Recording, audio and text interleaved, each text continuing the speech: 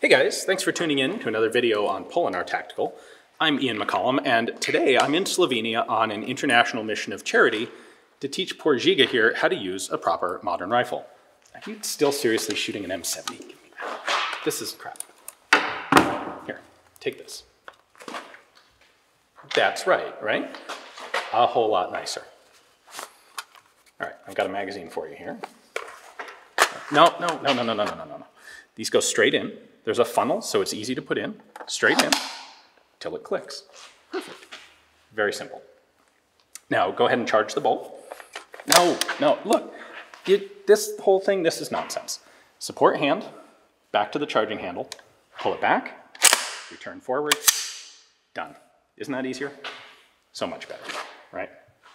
Okay, now, uh, one thing you'll notice with this is that the bolt actually stays open when it's empty so that you know that you're out of ammunition instead of taking aim, having it go click, and then you get killed in the streets. So uh, we'll first need to show you the safety, but let's take the magazine out so that we can drop the bolt.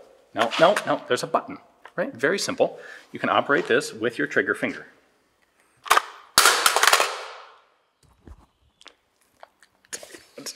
We'll get back to that. All right, uh, so go ahead and disengage the safety.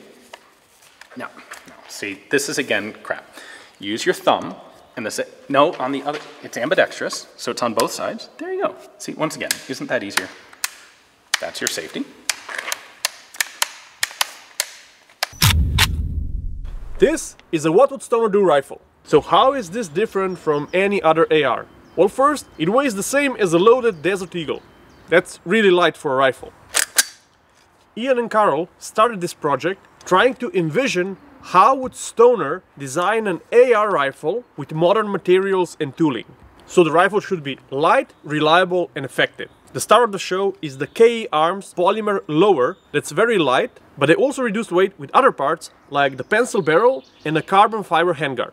One controversial decision on these rifles is to remove the forward assist on the upper but since the original Stoner design also didn't have it, I think that's in line with the idea of this rifle. If you have a malfunction that could be corrected with a forward assist, you can actually correct it with two different steps. First one is to pull the charging handle fully back and release it.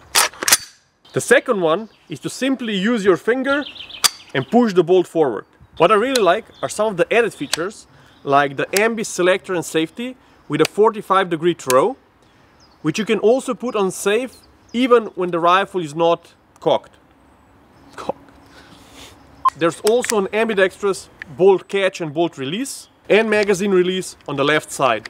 The charging handle is ambidextrous and enlarged, so it's really easy to use with only one hand. Upper and lower are held together by non-retaining pins. We have the JP silent captured buffer spring system and my favorite one, a completely chrome lined bolt.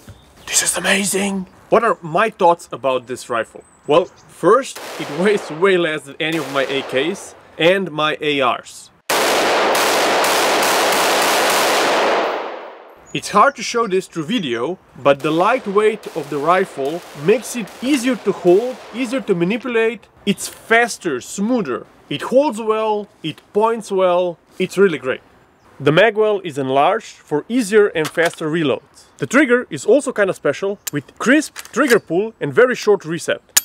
But there are two things that bother me and could be improved. First one are the loose tolerances on the upper and lower and the second one is the gas port slash gas block. It's just over gassed. Now I'm not sure if this is only present on the European guns, but this could definitely be improved. I solved the first problem by installing a simple rubber stop. It applies constant pressure between the upper and lower and prevents it from rattling.